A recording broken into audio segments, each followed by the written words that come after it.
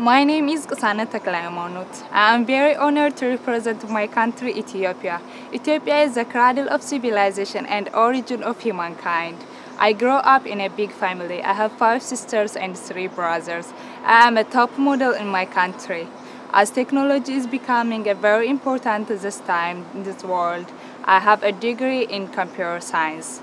And my Beauty With A Purpose project in my community is I mentor and encourage the children to have a dream and I plant the seed of ambition.